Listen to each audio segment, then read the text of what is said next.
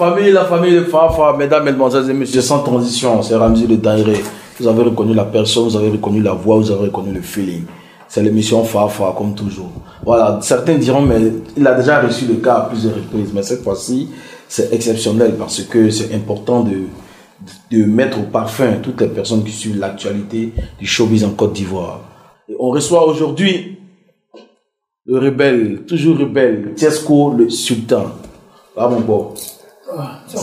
On dit quoi Alors, mesdames et messieurs, je reçois Tiesco le sultan qui sort nouvellement de, voilà, de l'univers carcéral. Donc, on va prendre euh, les nouvelles de Tiesco le sultan, mais avant, je vous propose une plage musicale d'une chanson que j'adore, que j'ai toujours adorée. T'es pas mieux. Let's go et on revient.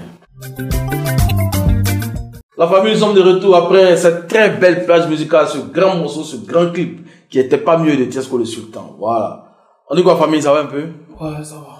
Ouais, mais aujourd'hui, là, aujourd'hui, hein, je te sens pas là, tu es un peu fatigué, on dirait. Ouais, pas trop la forme. Je suis un peu convalescent. D'accord, d'accord, d'accord. Ok, y a pas de souci. Alors, merci en tout cas d'avoir accepté de, de passer à l'émission Fafa. Voilà, les, les, gens diront que, ouais, comme c'est son gars, il est invité encore, mais il faut que les gens sachent beaucoup de choses en fait. Raison pour laquelle j'ai tenu à ce que on se rencontre pour échanger à ce sujet. Alors, dis-moi, comment, comment tu te portes? Tu as dit que tu es convalescent, mais mentalement, comment tu te portes? Ah, Mentalement, je vais très bien. -hmm. Voilà, c'est. Comme tu l'as dit, hein, je sors de la prison. -hmm. Donc, il euh, y a un peu la fatigue. Puis bon, je, je suis tombé un peu malade, tu vois. Sinon, à part ça, mentalement, ça va très bien. Ok, super. Mais c'est quoi tout ce monde C'est qui tout cela? C'est ma famille. Ah, tu les envoies pour nous frapper ou bien c'est quoi? Non, jamais. C'est ma famille, c'est la rébellion. Mm -hmm. Voilà, la rébellion peut jamais finir. Mm -hmm. C'est une rébellion musicale. Voilà, donc euh, ce sont des artistes euh, que je produis, enfin on va dire que j'aide, que je donne des coups de main, mm -hmm. voilà, qui m'accompagnent un peu dans tous mes, dans tous mes déplacements. Mais... Et puis en même temps mes amis, mes managers. Et toi, tu dois te déplacer avec, euh, avec un mini-car, un baka comme on dit. Non, ça c'est tout le monde là. Il y a encore du monde dehors, c'est parce que par rapport. Tu connais la situation. Ouais, ouais, les mesures barrières sont respectées, il ouais. y a les masques, voilà. Donc, quand même, il y a les masques. C'est important. Oh, ouais, ça, c'est important. Il y a vu un mec qui s'est pomadé avec le gel tout à l'heure. Voilà, c'est important. Alors, mesdames et messieurs, je vais, je vais maintenant m'adresser à Tesco rapidement, je vais lui poser des questions. Parce qu'on ne pas trop durer dans le, dans le, dans le petit coteau. Donc voilà un peu.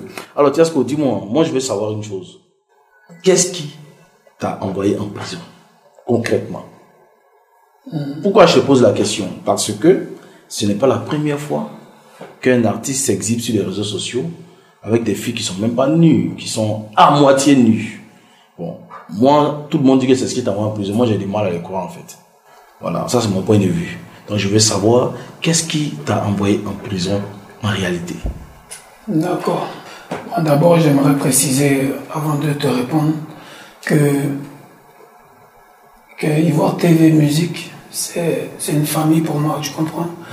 Voilà pourquoi j'ai accepté de, faire cette interview. C'est une télévision qui m'a beaucoup aidé, qui continue de m'aider. Parce que j'avais décidé pour l'instant de ne pas faire d'interview, de ne pas trop exprimer tout, tout, tout. Euh, si je dois passer dans tel ou tel média, ça sera sous contrat avec mes managers, euh, avec le cachet qui va avec, avec le contrat qui va avec, parce que maintenant on va travailler que pour la musique. Tu comprends? Donc, euh, je fais un gros big up déjà à Roland Le Benguis, à Maman Mouna et, et le boss Zoumana, avant de te répondre, pour que les gens sachent pourquoi je ne suis pas venu dans plusieurs invitations. Parce que ça fait bientôt deux semaines que je suis sorti et beaucoup de gens m'ont invité mais malheureusement déjà par rapport à ma santé je pouvais pas mm -hmm. et puis de deux ça m'intéressait pas vraiment voilà. mm -hmm. donc voir TV c'est un peu spécial il mm -hmm. faut que les gens le sachent maintenant pour ta question euh, je vais pas être trop long comme toi je vais te dire tout simplement que c'était une volonté de Dieu tu comprends? On dit ce que Dieu veut c'est ce qui va toujours arriver voilà sinon pour les faits en elles-mêmes les gars, ils étaient au tribunal. Je pense que beaucoup de médias ont relayé les faits. -hmm. Il y a eu trois chefs d'accusation, deux plaintes pour diffamation et une plainte pour dépravation de mœurs. Voilà. Et c'est ce qui a été jugé. Mm -hmm. Et j'ai été condamné pour ces faits-là. Voilà. Sinon, en dehors de ça, si ça paraît un peu incroyable selon toi, je dirais que c'est Dieu, tout ce que Dieu veut, c'est, c'est ça qui est la vérité, au fait. Voilà.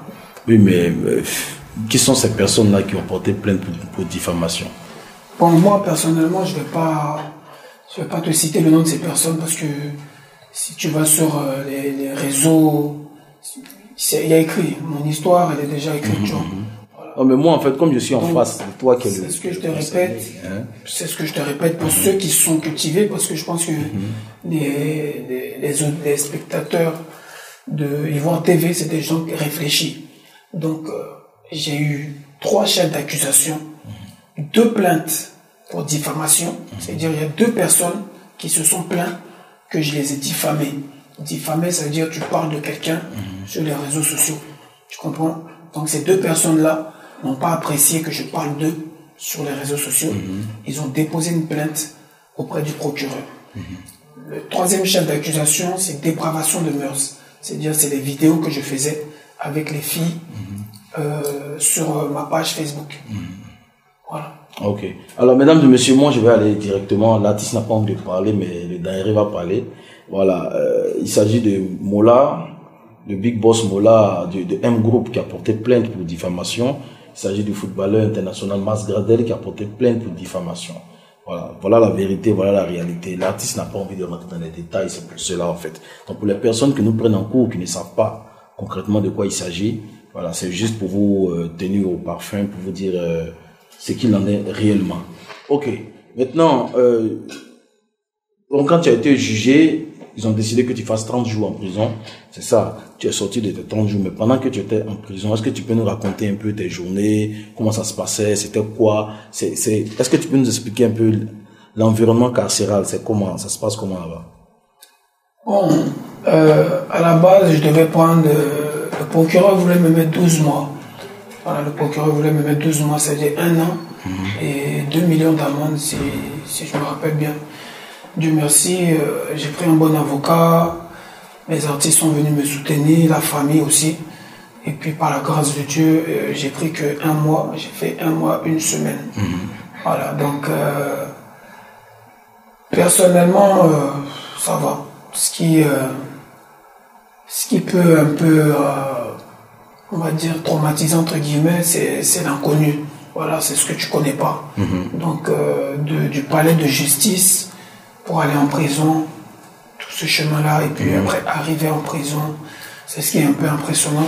Sinon, euh, j'étais j'étais pas mal là-bas. Mais est-ce que tu as quand même été bien traité? Parce que bon, tu es tombé malade, on t'a vu sortir de prison, on a senti que il y a quelque chose qui n'allait pas, tu avais le visage un peu enflé et tout ça. Donc certains ont commencé à, à, on peut dire, euh, à raconter des choses sur les réseaux sociaux comme quoi bah, tu n'étais pas bien traité là-bas, tu mangeais pas correctement et tout ça. Bon, tu sais, euh, entre les réseaux sociaux et la réalité, ça fait deux. Bien sûr, c'est pourquoi je te pose la question. Donc, euh, pour ceux qui racontent des choses, la réalité est que j'étais... Bon, avec l'histoire du coronavirus, il y avait quand même... On était dans des conditions de confinement pas très agréables. Sinon, les prisonniers qui sont là-bas, ils sont dans des bâtiments. Il y a trois bâtiments, quatre bâtiments. Et ils ont leurs cellules, ça va. Mais nous, les nouveaux qui arrivaient depuis avril, on était un peu confinés par rapport au corona, on n'avait pas accès au bâtiment. Donc c'était un peu les conditions un peu difficiles. Mais moi, personnellement, euh, les conditions d'insalubrité, tu vois. Voilà. Sinon, à part ça, euh, non, moi j'étais bien traité en tant qu'artiste. Beaucoup de gens me, me connaissent là-bas. Euh, Que ce soit les nouveaux comme les anciens. Donc euh, ça va, ça se passe assez bien. Ok, la famille, mesdames et messieurs, je profite de, de, voilà, de cette caméra pour saluer tous les artistes, toutes les personnes qui sont dans le domaine culturel, qui ont laissé des messages en soutien à Tiesco, des personnes qui ont, voilà, qui ont envoyé des messages sur Facebook, des personnes qui ont, qui ont essayé de, de, de faire des statuts pour dire qu'on soutient Tiesco le sultan, voilà, que, que, que Dieu le fortifie et qu'on peut pas souhaiter la prison même à son ennemi et tout ça. Vraiment, je salue ces personnes-là en me mettant à part parce que bon, moi, tout le monde sait que j'ai fait ce que je pouvais faire. Voilà. Alors, euh, dis-moi, est-ce que quand tu étais là-bas, est-ce que tu as reçu, bon, c'est vrai que tu ne peux pas recevoir d'appel parce que tu n'avais pas de téléphone, mais est-ce que tu as reçu la visite de, de certains artistes qui sont tes amis et tout ça? Bon, euh, il n'y avait pas de visite par rapport au coronavirus, D'accord. toujours. Y a, ils ont stoppé les visites depuis un bon moment. Donc on pouvait nous apporter des vivres, manger, des, des, vêtements, tout ça. Donc j'ai mon frère et artiste ex DJ Pharaon, Landry Blessing. Landry Blessing maintenant, qui m'apportait souvent des vivres et tout ça, et des vêtements, et qui me, qui m'a expliqué un peu, enfin, personne interposée qui, qui me soutenait, tout ça, mais tout le monde ne pouvait pas forcément se déplacer. Donc, euh, comme tu l'as fait, je remercie aussi également euh, tous ceux qui m'ont soutenu. Voilà, tous ceux qui m'ont soutenu, tous ceux qui ont fait des posts pour me soutenir, parce que euh, c'est pas le bon endroit. Voilà, pour un artiste, c'est pas forcément le bon endroit. Donc, euh, ça fait ça fait plaisir quand il me disait telle personne soutient, telle personne soutient. Ça m'a ça m'a montré que voilà, il y a quand même une certaine euh, fraternité euh, entre artistes. Quoi. Ça m'a fait plaisir. D'accord, d'accord. Alors, Tesco, euh, aujourd'hui, aujourd'hui, quelle, quelle, quelle leçon tu tires de, de tout ça? La leçon que je tire de tout ça, c'est que ça me, ça me rend encore plus fort. Tu vois, ça me rend encore plus grand. Euh, J'avais commencé, avant d'aller en prison, à me positionner comme le big boss du showbiz ivoirien, ce qui est toujours le cas, ce que je maintiens toujours, plus que jamais. Voilà, toi-même tu vois les artistes qui sont là, tu vois le, ceux qui, qui sont avec moi à chaque déplacement, il y a beaucoup de gens qui comptent sur moi, tu vois. Je suis quelqu'un qui, qui est fait pour donner de l'amour, qui est fait pour donner euh, de la lumière. Donc la prison m'a ouvert les yeux un peu sur tout ça.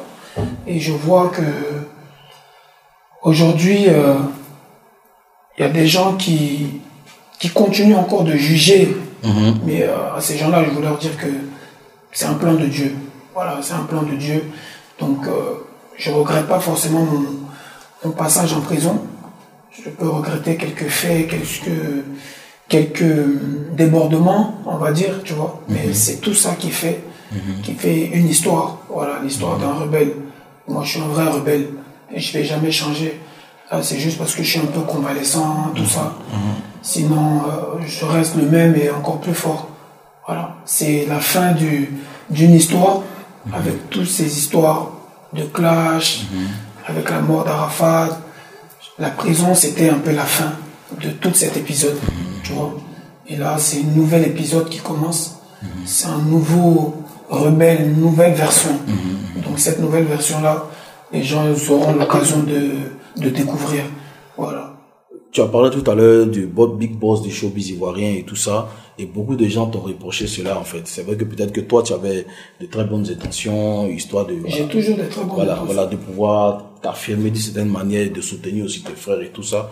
Mais tu trouves pas que c'était un peu prétentieux de ta part de dire que tu es le nouveau big boss du showbiz ivoirien pendant qu'il y a des il y a des vieux pères qui sont là. Bon, peut-être que tu n'es peut-être pas allé les voir essayer de voir un peu. Tu sais souvent quand on fait quelque chose, faut aller un peu vers les doyens.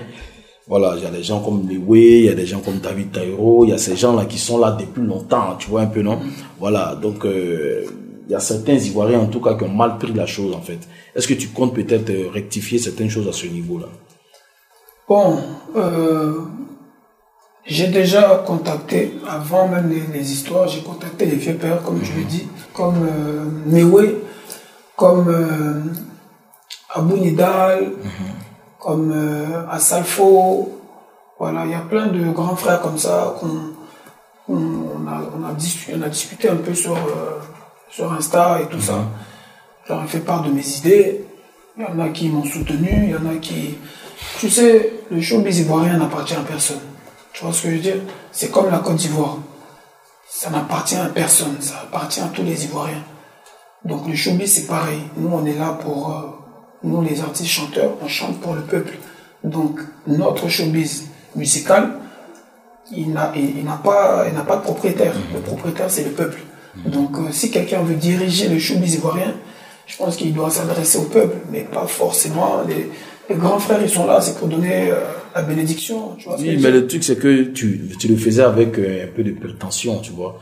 Tu le faisais en, te tapant la poitrine, en, disant oui, c'est moi, oui, c'est moi, oui, c'est moi, oui, c'est moi. Moi, c'est de ça que je parle, en fait. Sinon, l'esprit n'est pas mauvais en réalité. Voilà, bon, mhm. euh, là, c'est parce que je suis malade. Hein. Mhm. Sinon, je me tape toujours la poitrine et je confirme toujours que je suis le big boss du showbiz ivoirien. Voilà. Maintenant, si des votes doivent avoir lieu, je suis prêt à aller au vote. Mais tant qu'il n'y a pas de vote, tant que personne ne se dit big boss comme moi, tant qu'il n'y a pas de concurrence, pour l'instant, je suis le big boss. Et voilà, je suis malade. Tu vas pas me forcer à me taper la poitrine alors que je suis malade. tu me connais, tu sais que je suis comme ça. alors, mais maintenant, oui. Maintenant, ouais, à propos du big boss du showbiz, tu dis que tu as tes artistes et tout.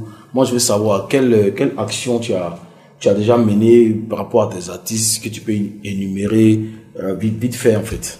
Ah, ok. Déjà, quand je dis que je suis le big boss du showbiz ivoirien, c'est pour ne pas. D'abord, j'ai beaucoup de rêves, beaucoup d'ambitions.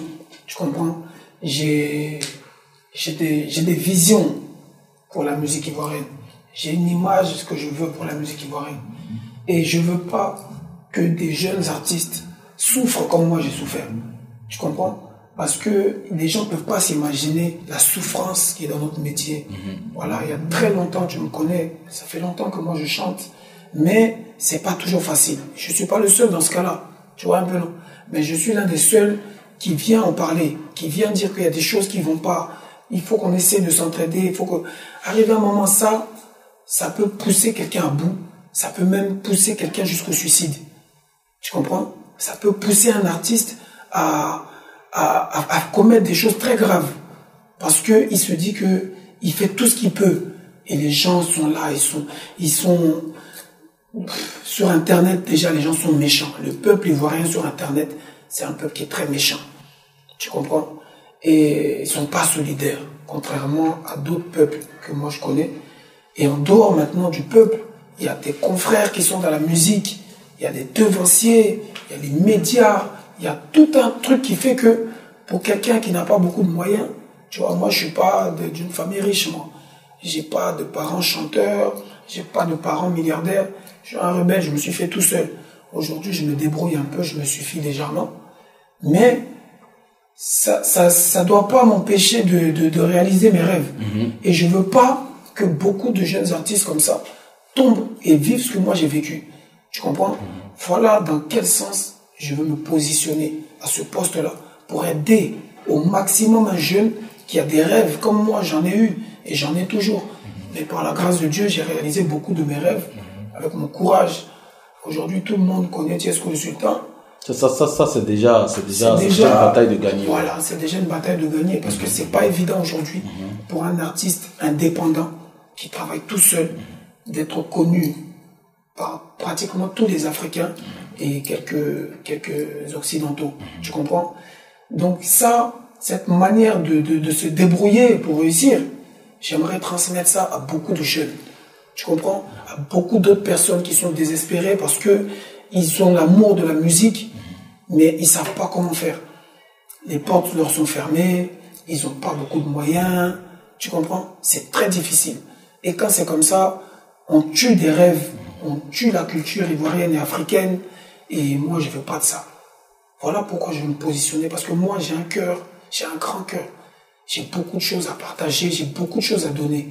Mais c'est pas facile. Tu comprends? C'est ensemble qu'on va y arriver. Et c'est le futur que moi j'essaie de construire avec ces gens-là. Pour que eux aussi, ils aient ma mentalité, pour qu'on puisse ensemble relever beaucoup de défis.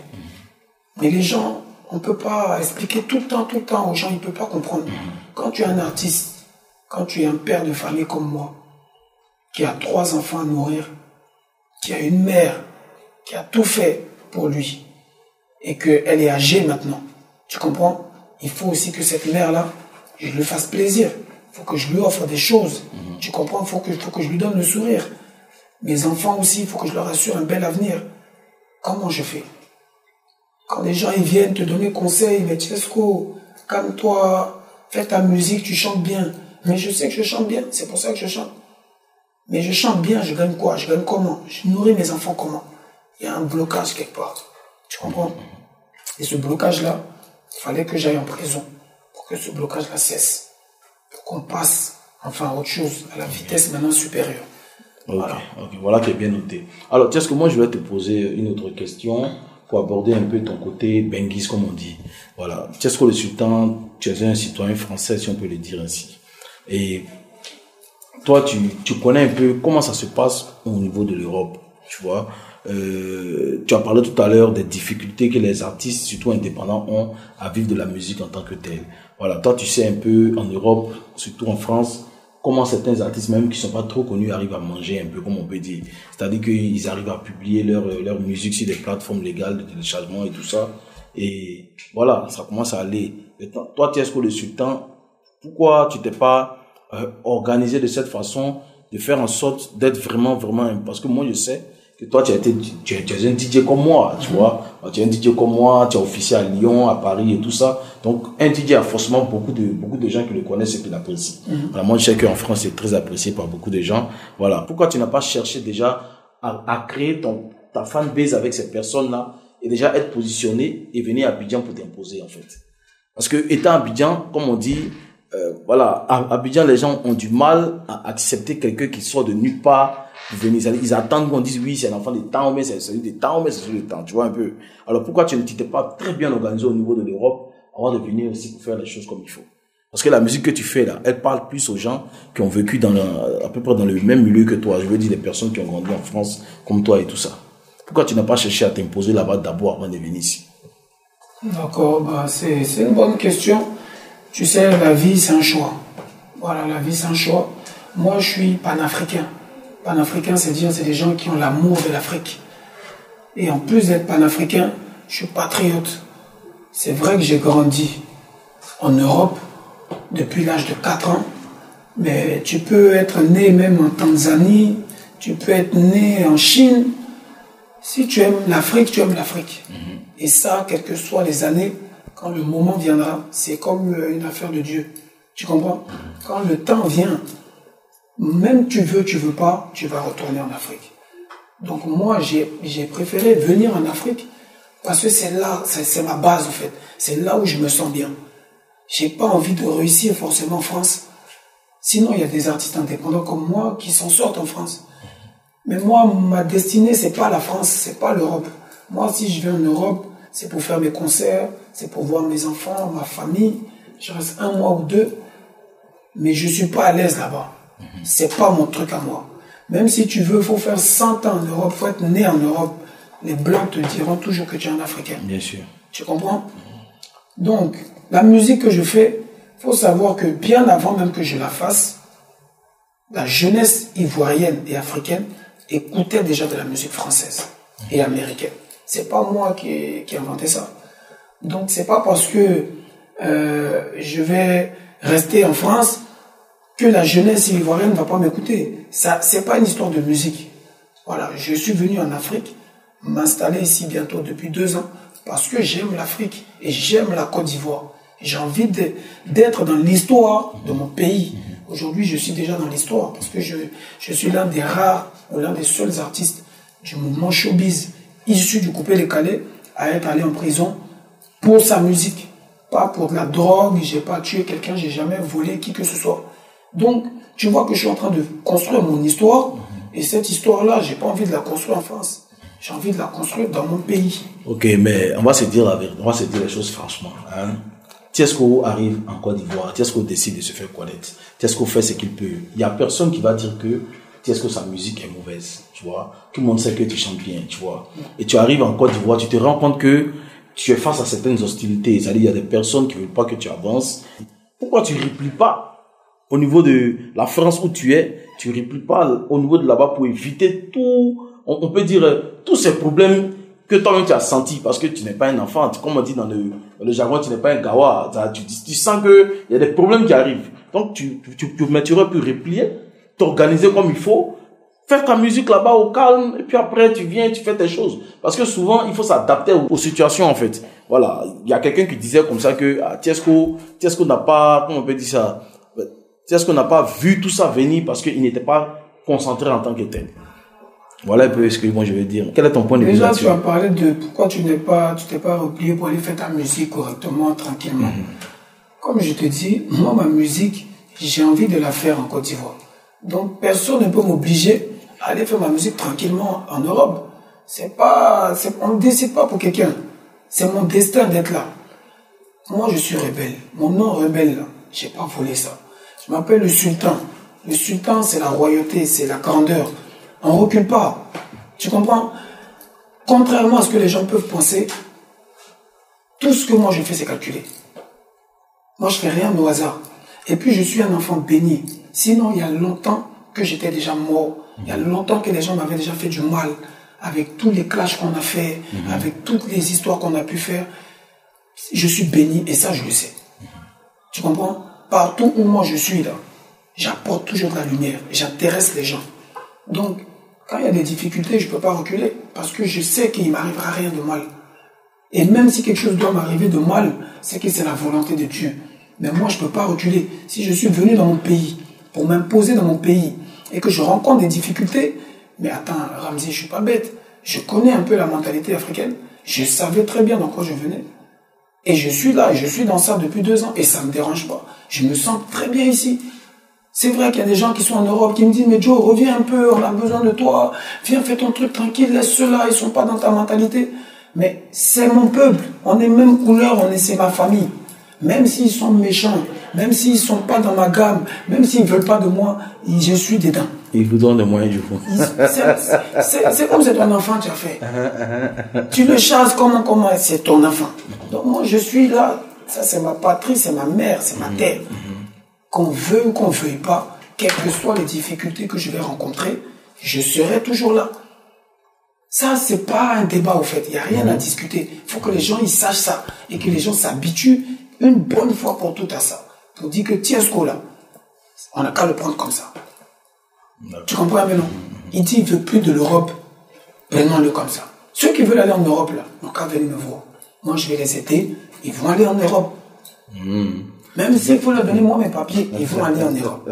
Ils vont aller, si ça leur plaît, ils vont rester. Si ça leur plaît pas, ils vont il y a certains qui disent que c'est parce que Tiesco, voilà, au niveau de l'Europe, il a, il a, eu, il a eu des soucis là-bas, qu'il a fui pour venir s'installer en Côte d'Ivoire. Il, fait, il fait croire aux gens que oui, c'est parce qu'il veut s'installer. Non. Bon, faut savoir déjà que moi, j'ai le passeport français, comme tu le sais. Aujourd'hui, j'ai le passeport ivoirien aussi. Mais avant, je n'avais que le passeport français. Je voyageais quand je voulais, comme je voulais. Si moi j'ai envie d'aller en France, là, demain, je vais en France. Tu comprends? Donc, j'ai fait beaucoup d'allers-retours. Attends, ça, je vais en venir à ta question. J'ai fait beaucoup d'allers-retours, mais je suis pas obligé d'exposer ça médiatiquement à tout le monde à chaque fois que je vais voir mes enfants ou je vais voir ma mère. Moi, j'étais un délinquant. Tu comprends? J'ai grandi dans la rue avec les Arabes, avec les, comment les appelle, les Comoriens à Marseille. Je suis un mec de cité. J'étais un mec de cité. Tu comprends un peu, non? Donc, forcément, dans ma jeunesse, j'ai fait beaucoup de, conneries. Des gardes à vue, on compte pas les gardes à vue que j'ai fait. Mais ça m'a jamais envoyé en prison. J'ai fait même des choses où j'ai été jugé euh, en sursis et ça m'a jamais envoyé en prison. Il fallait que ça soit ma musique qui m'envoie en prison. C'est pas ta je musique qui t'envoie en prison. Bien sûr, c'est ma musique. Voilà, c'est des gens qui ont dit que tu as raconté des, des, Non, insanités sur, sur c'est dans un cadre musical. C'est dans le showbiz. Ouais, il faut dire, il faut dire, ton- il faut dire le milieu dans lequel tu exerces, pas forcément la musique que tu fais. Non, dans ta musique, tu n'as jamais insulté quelqu'un, tu n'as jamais, voilà, fait quelque chose de mal en tant que tel. Bon, euh, C'est ça, en fait. moi, quand je dis c'est ma musique qui m'a envoyé, c'est par rapport aux faits qui m'ont été reprochés devant le juge. Deux plaintes pour diffamation. Puis Ces deux plainte- plaintes de diffamation-là, c'est des gens avec qui on a eu plus ou moins des histoires dans le showbiz, musicalement, parce qu'on était en désaccord avec beaucoup de choses. Tu comprends? Et la troisième, le troisième chef d'accusation, qui est dépravation de mœurs, c'est des vidéos que je faisais à titre promotionnel avec des filles sexy et tout ça, mais parce qu'il fallait que je le fasse. Tu comprends? C'est mieux d'aller en prison que de mourir. Moi, je peux pas rester là mentalement à péter les plombs. Tu comprends un peu, non? À toujours réfléchir comment, pourquoi. Ces filles avec, avec lesquelles tu tournes, on les a pas mis, on les a pas mis dedans aussi. C'est lui-même qui te filmait, tout ça. Tout ça, on doit les mettre dedans. Si on te met dedans, on met, on, on, eux aussi, on les met dedans. Hein, Les filles, là, on, les met dedans. Lui-même qui te filme, qui t'a encouragé à faire ça, lui, on, on doit le mettre dedans. Bon, d'abord, Hein, personne- Elle, c'est pas manager même. Non. D'abord, personne ne m'a encouragé à faire ça. Comme je l'ai dit, moi, dans ma vie, tout est calculé. Mhm. Voilà. Dans la vie, on dit, c'est pas l'homme qui a tes parlé. C'est Ouais, toi-même qui as c'est ça. Tu comprends un peu, non? Mhm. Aujourd'hui, moi, là où je viens, là, moi, je sais ce que j'ai vécu, parce que je ne veux pas rentrer dans beaucoup de détails Mhm. pendant mon incarcération. Peut-être une prochaine fois, quand je serai mieux mentalement. Mais personne ne m'a conseillé. Je l'ai fait de moi-même parce que c'était, c'était ça qu'il fallait faire. C'était le moment. Tu comprends? Pour en finir avec tout ça, pour montrer que la célébrité que les gens pensent qu'ils ont là, nous aussi, on peut l'avoir quand on clave les doigts comme ça. Quand tu as 20 000 personnes qui te regardent en direct, si tu veux, tu manges, si tu veux, tu manges pas, ils sont là. Et ça, il y a des gens qui font des mauvaises choses pour avoir ça. Tu comprends? Moi, je veux pas rentrer dans tout ce qui est sale, dans tout ce qui est sombre. Donc, je leur montre que, avec un peu d'intelligence, si je veux, toute la Côte d'Ivoire peut me regarder. Tu comprends? C'est tout. Et ça, personne n'a besoin de me dire ça. Et pour revenir aux filles, c'est des amis. Elles sont où même? Elles ont quitté le pays. C'est pas des prostituées, contrairement à ce que les gens disent. Elles ne sont pas recherchées par qui que ce soit. Elles n'ont aucun problème avec la justice. Elles sont venues de leur propre gré. Elles sont consentantes. Tu comprends? C'est des amis à moi. Elles sont venues pour m'aider-. Parce que je leur ai expliqué mon problème. Et elles ont compris. Elles ont dit, ok, si c'est ce que tu veux, on va faire. Et puis on l'a fait. On s'est entendu et on l'a fait. Elles m'ont aidé. De la même manière que toi, Ramzi. Je vais te dire que, ah, il y a des go, elles aiment bien quand on voit les morts, torse nu, tatoués là. Pardon, viens maintenant, on fait une petite vidéo. Quand elles vont regarder ça, elles vont nous donner un jeton qui va nous aider à faire tel ou tel clip. Parce que j'ai besoin de ça, mon frère, viens m'aider. Tu vas venir. On va dire, mais Joe, dans le coin là, c'est interdit de se mettre torse nu, vous avez des tatouages, vous êtes des voyous. Mais tu vas dire quoi? Je suis venu aider mon frère parce qu'il a eu un projet, il ne sait pas comment il va faire. C'est tout. C'est un peu la même chose. Donc, il ne faut pas que les gens vont les voir en prostituées. C'est les enfants des gens aussi. Elles se sont sacrifiées pour moi parce qu'elles veulent que je réussisse. C'est ça qu'il faut retenir. Voilà, parce que on connaît les réalités de l'Afrique. C'est pas facile. Les go même qui vont se dire qu'elles ne sont pas prostituées là, on sait ce qu'elles font. On- on connaît, on, on connaît, connaît, ouais. on sait ce qui se passe dans les couloirs d'Abidjan. Tu vois un peu non? Et les vidéos même que moi j'ai fait, il y a des gens qui sont encore plus pervers que moi dans la société, qui font beaucoup de choses sales. Mais moi j'ai fait pour réaliser mes rêves, j'ai fait pour la musique.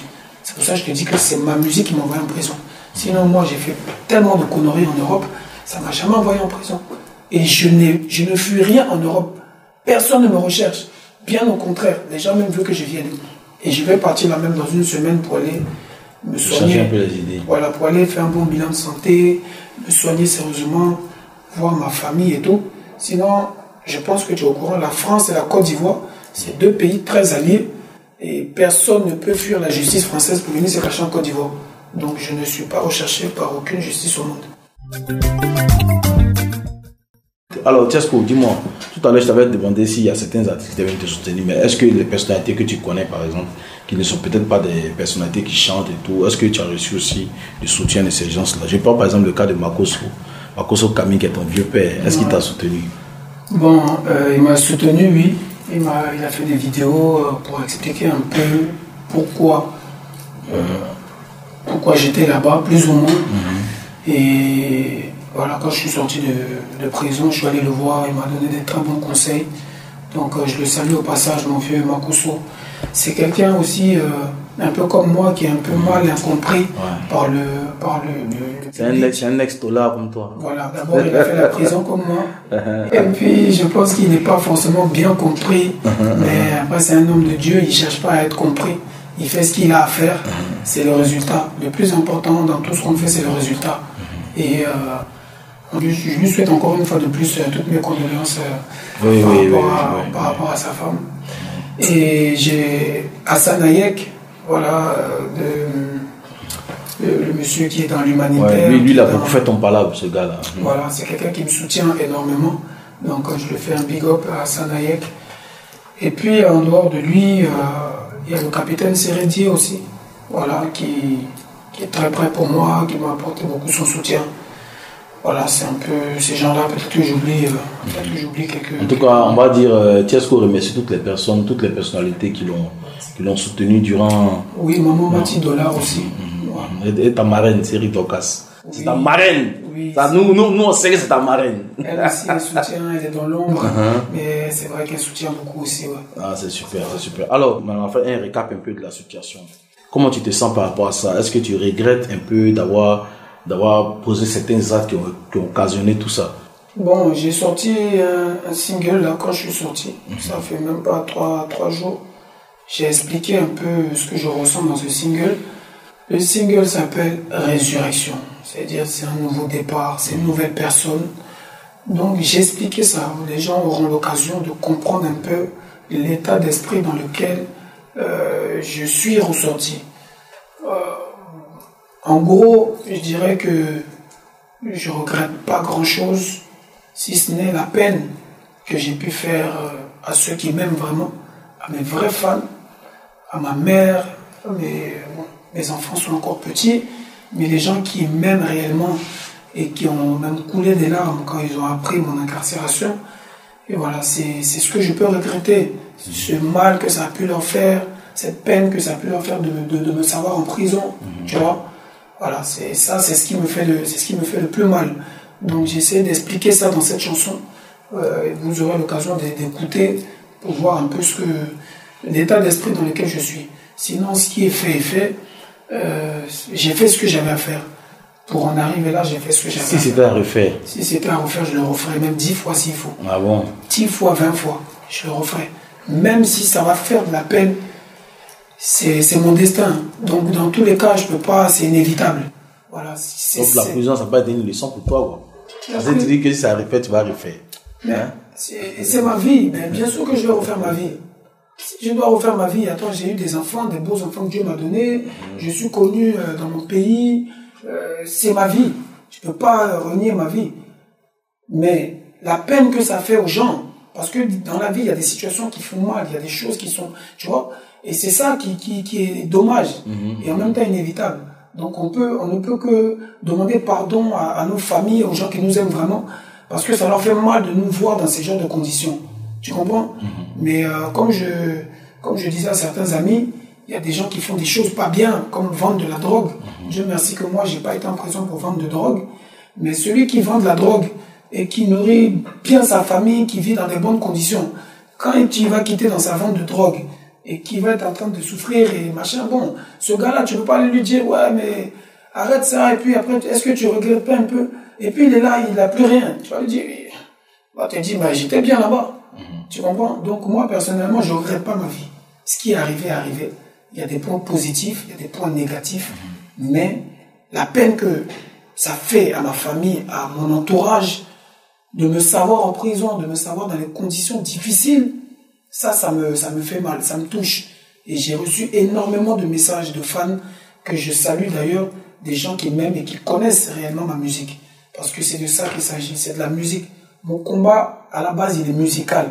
Quand je dis que je suis un rebelle, c'est musical. Maintenant, dans ce combat-là, il y a beaucoup de choses. Mhm. Tu vois, euh, je ne peux pas être là en train de chanter toujours 24 heures sur 24. Il y a des attaques, comme tu l'as dit. Il y a des gens qui veulent pas ton bien. Il y a des gens qui, qui sont là, qui te mettent un peu les bâtons dans les roues. Donc, de fait, tu es obligé de faire certaines choses pour essayer de dégager la voix. Parce que moi, je suis un leader. Quand tu es un leader, tu peux pas attendre que quelqu'un fasse ton travail. Quelqu'un t'ouvre la porte. C'est toi-même qui dois chercher. Et un leader doit avoir le dolage pour encaisser tous les coups. Pour encaisser les coups. Mhm. Tu vois, et un leader, c'est celui qui se relève. Donc moi, j'assume tout ça pleinement. Et on va essayer de mieux refaire les choses. Mhm. La prison, ça, ça te rend encore plus intelligent. Tu vois, ça te, ça t'ouvre encore les yeux, ça te montre déjà qui est qui, qui sont tes vrais ennemis, qui sont tes vrais amis. Même dans ta famille, tu vois ceux qui t'aiment encore mhm. plus. Et puis, euh, dans ton travail, ça te donne encore une certaine euh, manière d'être plus professionnel. Mhm. Donc, désormais, je serai plus professionnel. J'ai plus affaire à quelqu'un, je suis passé à autre chose. Mhm. Voilà, je n'en veux absolument à personne. Euh, c'est le, plan de Dieu. Ils ont accompli seulement le plan de Dieu. Ceux qui m'ont fait du mal, ceux qui m'en ont pas fait, ils ont simplement accompli ce qui devait arriver. Donc je ne peux pas en vouloir à qui que ce soit. Bien au contraire, comme j'ai dit dans la chanson, je leur souhaite même longue vie pour qu'ils puissent voir cette nouvelle personne, pour qu'ils puissent voir ma gloire. Voilà. Sinon, euh, à part ça, non, je, ne regrette rien.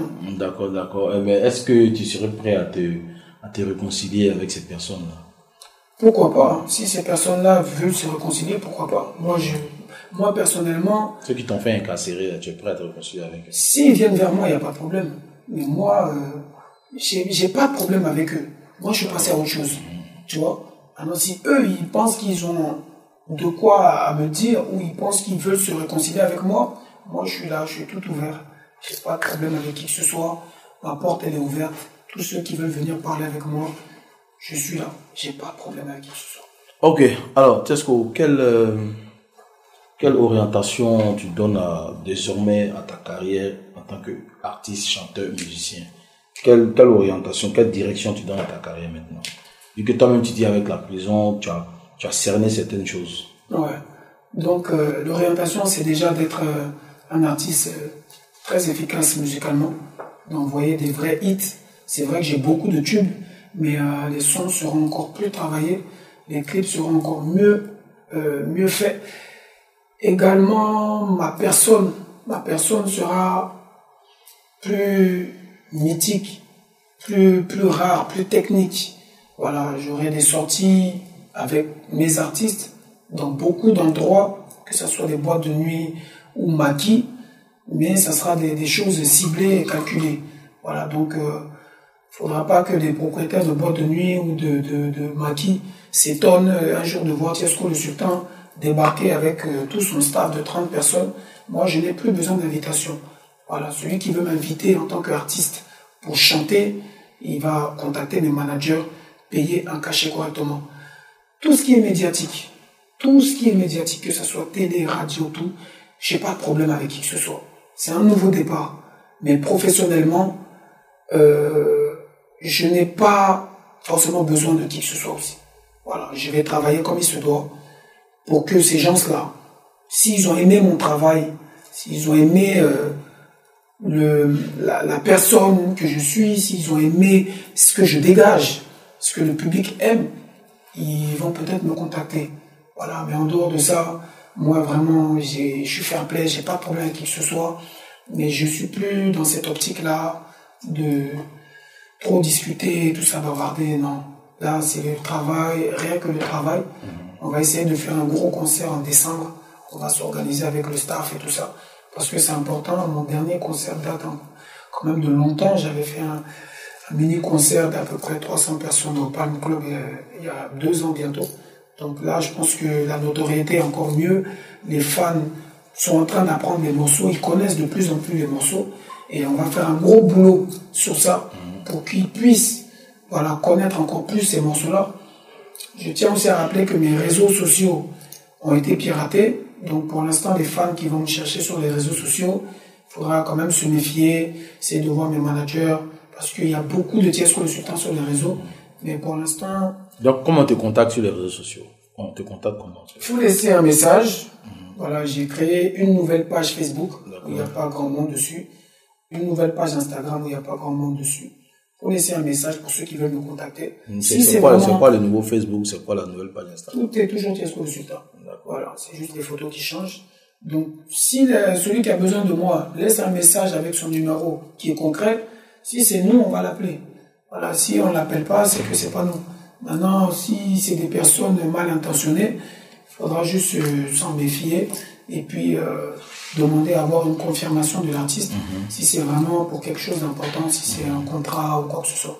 D'accord. d'accord. Alors, depuis que tu es, depuis que tu es sorti, avec toute la vision que tu as maintenant, est-ce que tu as été approché par certains producteurs ou euh, certaines majors, voilà, qui ont, qui veulent bien travailler avec toi et tout? Oui, oui, oui, oui. J'ai, j'ai pas mal de producteurs qui m'ont contacté. Mais moi, personnellement, la production en elle-même, ça m'intéresse pas trop. Voilà, ce qui peut m'intéresser, c'est les collaborations.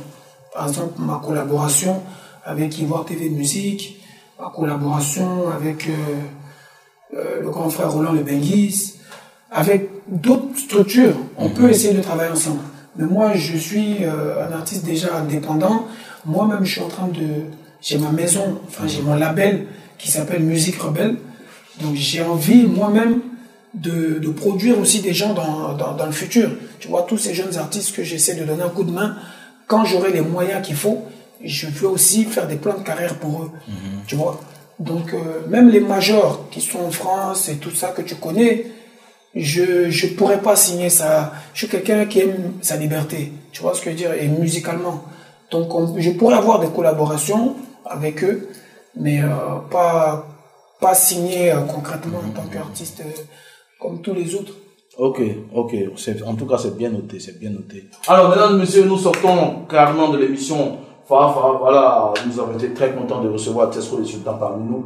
Il fallait qu'on prenne de ces nouvelles car c'est un frère. Voilà, c'est ce qui est important. Alors, mesdames et messieurs, vous aviez Soko Soko et William Santiago derrière la caméra. Vous avez Roland Le Benguis qui est le réalisateur de cette émission et Esma Boucher. Je vous donne rendez-vous la semaine prochaine. Même heure, même antenne, sortez couvert, protégez-vous, le coronavirus c'est une réalité. On est ensemble.